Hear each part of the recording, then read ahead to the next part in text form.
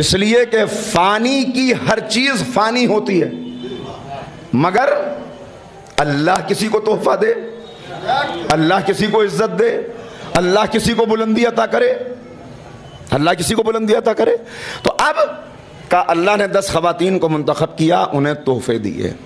जनाब हवा को तोबा का तोहफा दिया। जनाब सारा को जमाल का तोहफा दिया। जनाब मरियम को सफ़वत का तोहफा दिया।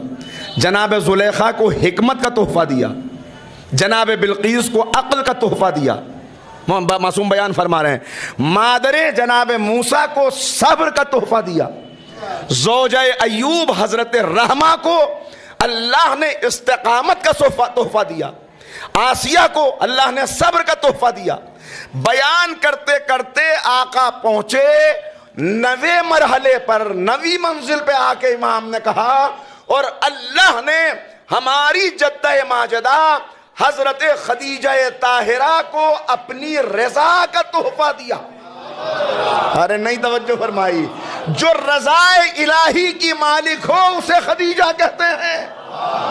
समझे, ये माल बुरी चीज़ नहीं है, मगर ये माल जब अल्लाह की राह में खर्च किया जाए तो माल जाता है, अल्लाह की मर्ज़ी आती है।